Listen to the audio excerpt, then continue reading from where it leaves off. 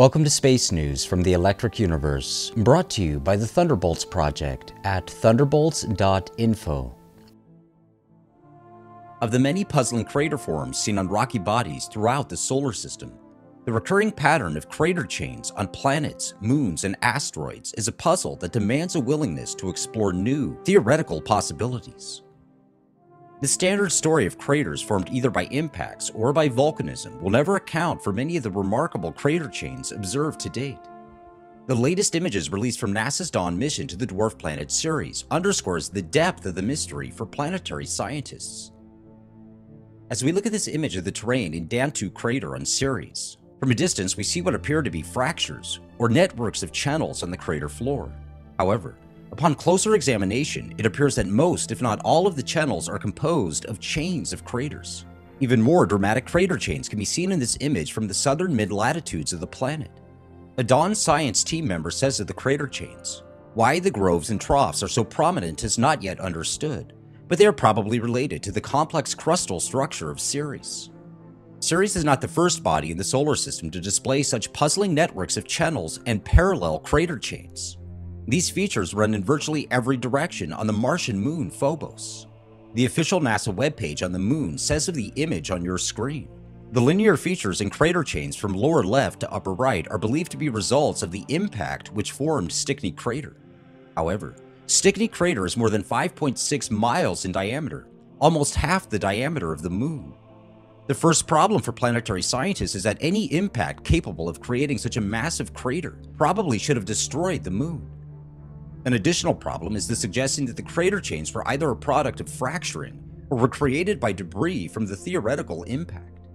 As discussed at length in the feature-length documentary film The Lightning-Scarred Planet Mars, experiments with electrical discharges routinely produce parallel crater chains and channels, such as those seen on your screen in experiments by D.Z. Parker. Planetary scientists have generally only entertained two competing hypotheses for crater chains on various rocky bodies, surface collapse, or impacts from above.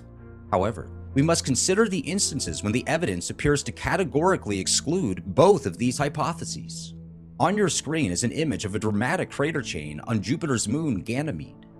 The official NASA webpage on Ganymede states of this image, the chain of 13 craters probably formed by a comet which was pulled into pieces by Jupiter's gravity as it passed too close to the planet. Soon after this breakup, the 13 fragments crashed onto Ganymede in rapid succession.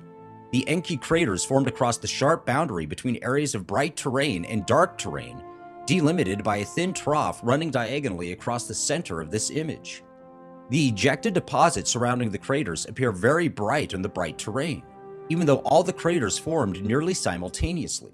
It is difficult to discern any ejected deposit on the dark terrain.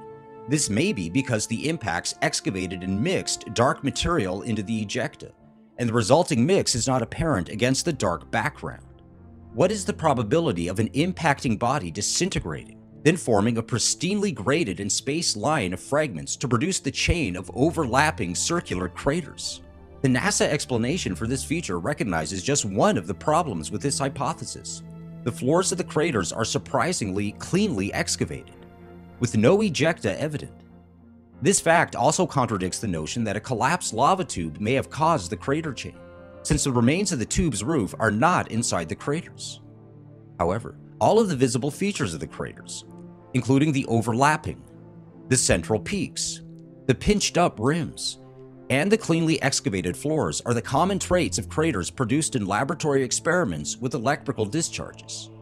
Further experimental support for the electrical nature of crater chains can be found in amateur astronomer Brian J. Ford's 1965 paper, Origin of the Lunar Craters, published in the Journal of the British Interplanetary Society.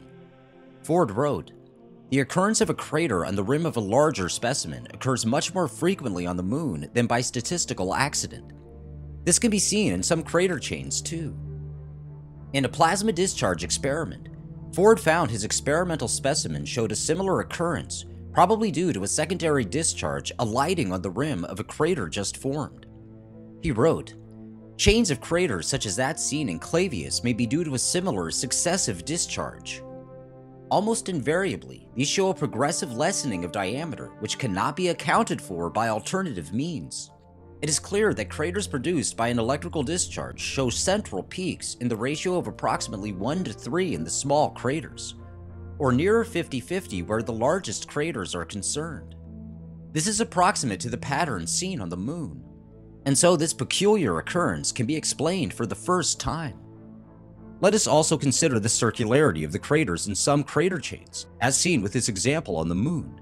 A long-standing puzzle for lunar investigators is that over 90% of all circular craters on the moon require that an object strike the surface from directly above. Planetary scientists then proposed that hypervelocity impacts cause explosions that occur above the ground, producing circular craters. However, it is surely no coincidence that electric arcs always strike the surface from directly above and can produce crater chains, as seen in this demonstration by experimentalist Billy Yelverton. Mysterious crater chains are further testimony that the surfaces of planets, moons, and other rocky bodies have not been shaped by gradual processes over billions of years, but were globally scarred in dramatic electromagnetic events. For continuous updates on space news from the electric universe, stay tuned to thunderbolts.info.